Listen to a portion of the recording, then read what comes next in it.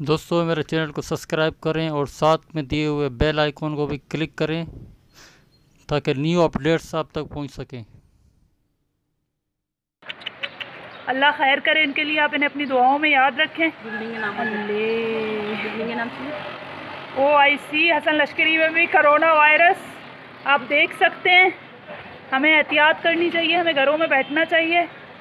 ये देखा जा सकता है आप लोग कैसे जमा हैं उनको देखने के लिए।